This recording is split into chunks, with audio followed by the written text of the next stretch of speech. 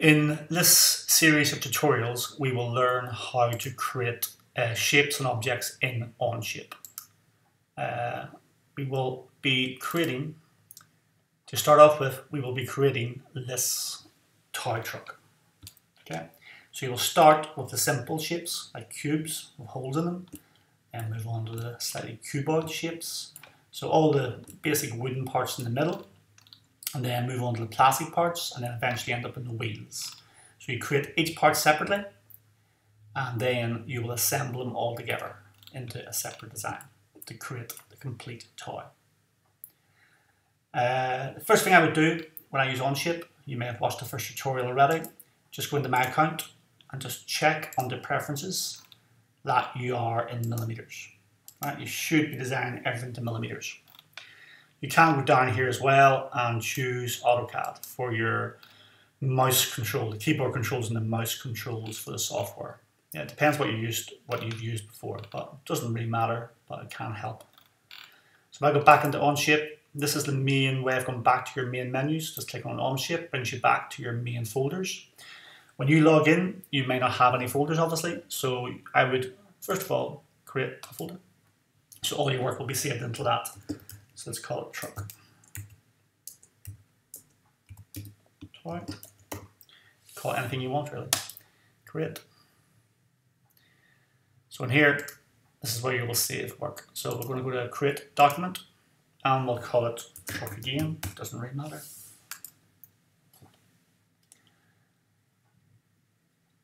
And then it opens up your first part studio.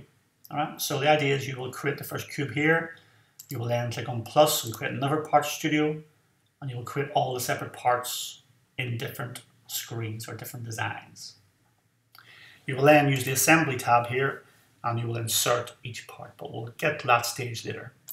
So let's start in Part Studio 1. I could rename this now and just call it Cube. Okay. I'll rename the second, second one while I'm at it and call that Cuboid. Right. Still in Cube. So easy, click on sketch. You will see these three planes appear like most standard CAD software have. I'm going to click on top. I'm going to create my first sketch onto the top work plane. So you move your cursor over the square, you'll see it turn orange, click on it once, you'll see it selected. The sketch up here is now on top plane. Then you can right click and go to view normal to. Another way of doing that is just by using this control. Yeah, this will let you move through the different planes.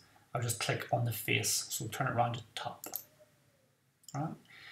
It is essentially you have a mouse. Don't try and do this on a touchpad on a laptop. Uh, you can, but it's just slow. Okay, so I've got, a, I've got a mouse here with a roller ball, so I can quickly and easily roll in to where I'm looking at. I can push down on the roller ball, and I can move around as well, which is useful.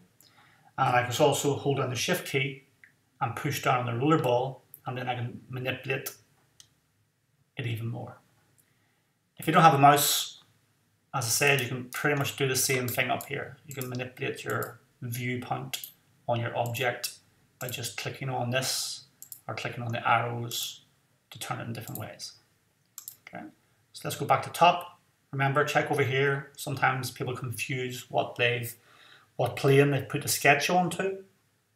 So click on top. So I'm back around the top. So to draw the cube, these are the drawing tools, okay, which appear when you've selected the surface. Also, when you've selected the plane, you should now see you're in the sketching tools. So click on corner rectangle, Click in the middle. Always start sketches from the middle. Sorry for a little bit. Left click and drag. Alright, so left click on your mouse and drag away. You'll see the measurements appear. When you let go, you'll now have control. You can change those measurements.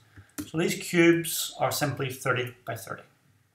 So press 30, press enter, and you move automatically to the other dimension. Press 30 and enter. So you've got your first sketch. I'm going to accept the sketch now. Okay, that's all I want to do to start off with. So accept the sketch by clicking on this little green tick. And then I'm going to press, you'll see the top menu bar has now changed. You're back to the features like extrusions, revolve tool, sweep tool, loft tool, fillet, which you will learn about in this tutorials or in these tutorials. So we'll click on extrude. I want it just to be tilted back a little bit so I can see what I'm doing. So I'm just tilting the work plane back so it's at an angle. Again, I'm just going to use the mouse, pushing down the roller ball, holding the shift key, turning it around. Get used to the mouse first of all, how you manipulate the image. Using the roller ball to roll in at certain points takes a bit of time. If you haven't used a mouse with these, this software before, just to get used to how you manipulate the viewpoint. So I click on extrude, it's now extruded. I want to enter obviously a height of 30.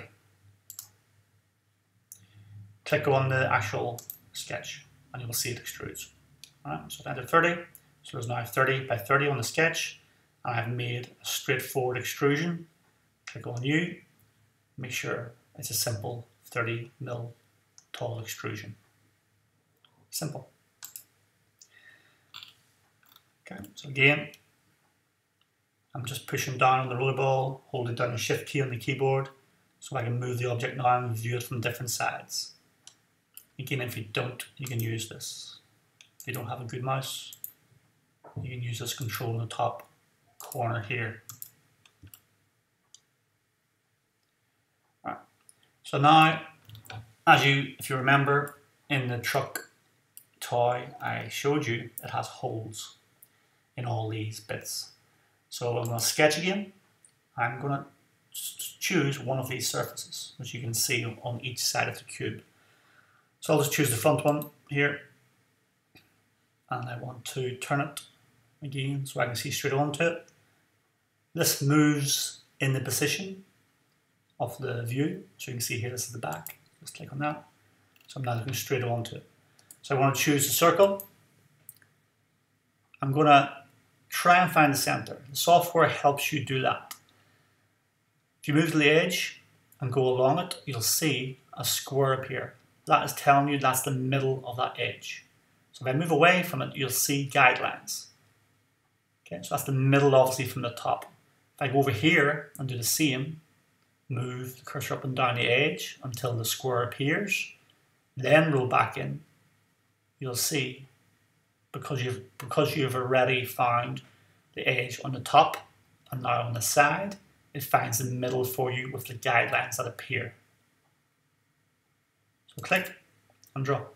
Just move away, click and draw, click again and enter the radius, or the diameter, sorry, 12 mil diameter these holes. Accept the sketch. You'll see you're back in the feature You've got the extrude tool again. Again, using the mouse, just tilt it back so you can see what you're doing. Click on the extrude tool. I'm going to click on the circle first this time.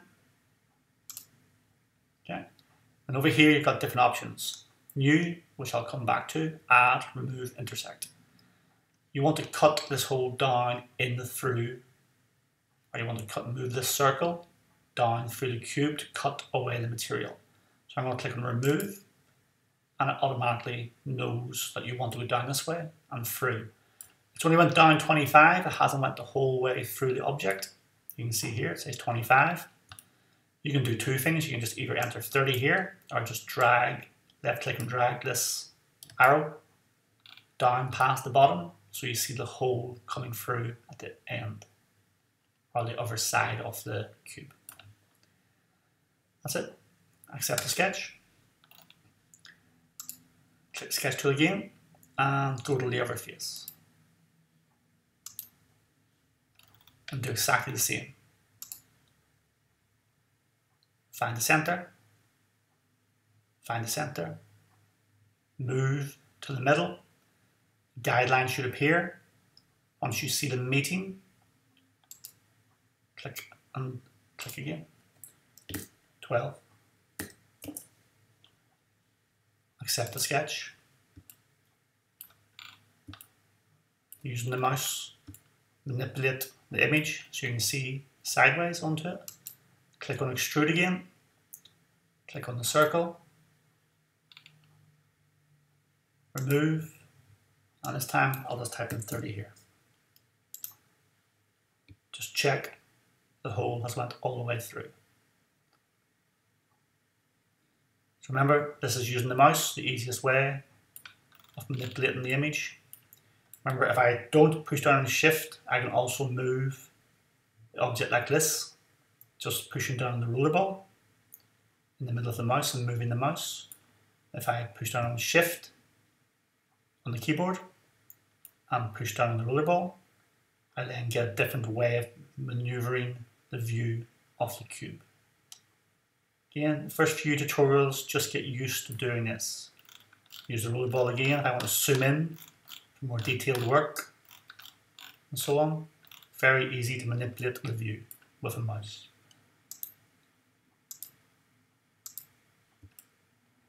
So last sketch on this surface, remember look for the orange highlight. You'll see the sketch appear. It will say over here then turn it round, so you're looking straight onto it, then roll into it. Same as before, find the center with the square appears, move down this side, then go to the middle. So you have to find the two centers of each perpendicular edge first, then click and drag. 12. Accept.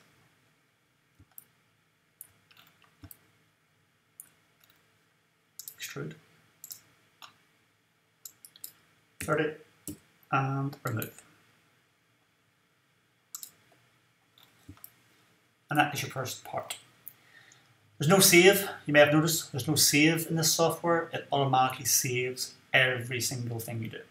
Alright, so you just leave it, open up the cube and let's move on to the second part. Sketch, do exactly the same as last time, click on the front work plane, you'll see it appear here. Choose the front here. It will turn straight on. Then we draw a rectangle which is double the length of the first cube. So that is obviously 60, 30. Click accept. For sketch, click extrude select the rectangle, just turn it around again. It's always useful just to see that it is extruding. 30 and press the select, or sorry, accept the tick. Sketch again. So we're on this surface now. Click on bottom so it turns around and see where I'm looking to. Now you need two holes side by side in the middle, so you have halfway and obviously two circles in the same place on each side. So do that, this time it's a bit trickier. The best way of doing this is just using a line tool. I'm going to draw. These lines will actually just be guidelines. So what I'm going to do as I'm drawing the line, I'm going to go up here to this tool where it says construction I'm going to click on it and you'll see it turns to a dashed line. This is just a construction line, it just helps you draw other lines on your sketch. So click and then down, click every corner. Okay. If you don't understand what I'm doing yet, you will find out. But obviously now, if I draw a circle, I can simply move along this line and find the center of it. So I know that's in exactly the right place.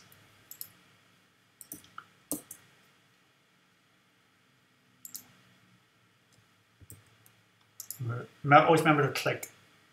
Some software is different. And You have to click at the end as you drag out the circle, click, and then it lets you manipulate the, the, the diameter. Accept that sketch. And now simply, again, extrude. But remember, 30 and remove. So you'll repeat the same process for this side.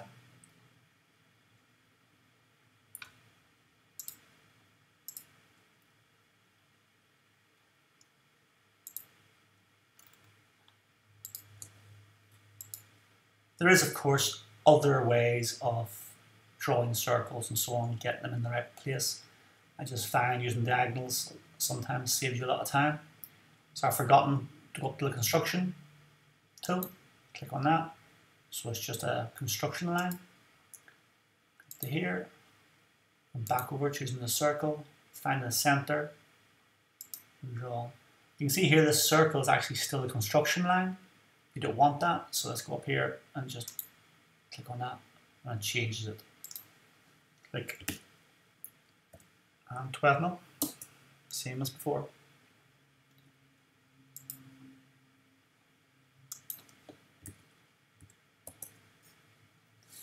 Accept. Use the cursor, use the mouse, sorry, and tilt it back and extrude.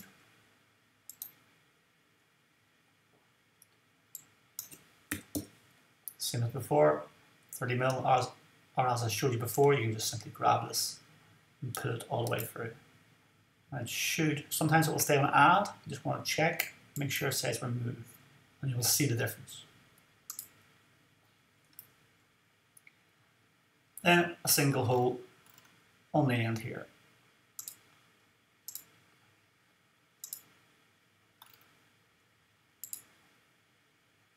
Find the center, the center.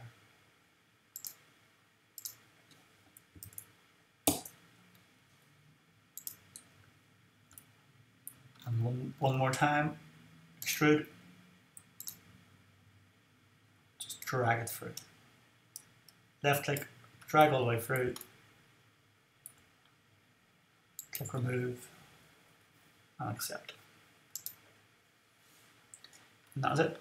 So you now have the cube, and now have the cuboid. Okay. In next tutorial, we'll move on to do the next few parts.